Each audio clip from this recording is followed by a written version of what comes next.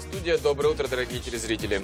Э, Мы сейчас находимся в Свято-Никольской церкви, рядом со священником Никольского храма Алексеем Гамолиным, который является руководителем э, епархиальных курсов э, звонарей красноярских. Все правильно сказал? Да, вроде правильно. Да. И сейчас э, Алексей, почему мы сегодня пришли сюда? Потому что Пасха была накануне, и была возможность у прихожан прийти и ощутить себя вот под этими сводами э, колоколов. Но э, сейчас Алексей расскажет, э, что сейчас... э, в принципе, можно не только в Пасху прийти э, на колокольню, но под строгим наблюдением звонаря и с позволения.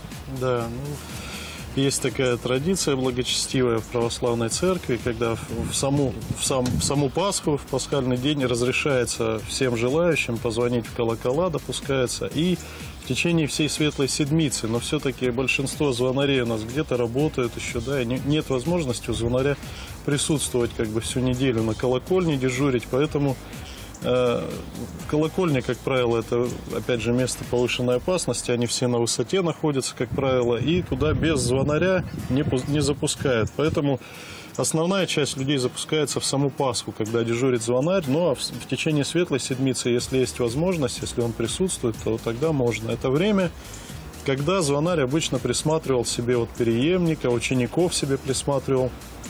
И в дальнейшем они начинали ходить. Сначала просто смотреть, сначала просто смотреть. Это могло полгода происходить. Потом уже давались какие-то первые упражнения, какие-то получение каких-то навыков. То есть звонарь сначала должен был ученик увидеть вообще, как живет звонарь вообще. Потому что звон все-таки это молитва. И молитвой он становится не сразу. Звонарь это послушание, это не просто музыка, это не музыкант, хотя в то же время это и музыкант. Но это послушание, послушание церковное. И сейчас я вот уже облачился в наушники, попробую себя в роли э, звонаря, с позволения Алексея. Э, В общем, может быть, отставлю этот э, алчный мир телевидения и...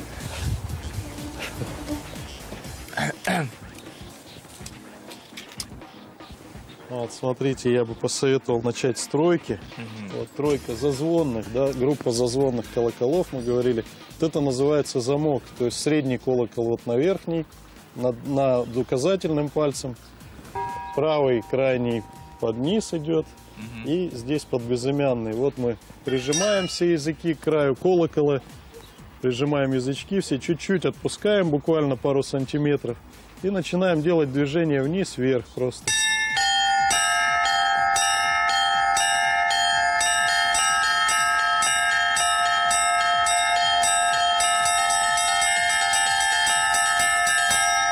Это несложно, но ну, требует времени, конечно. Вот наверх сначала, вот так, руку заводите.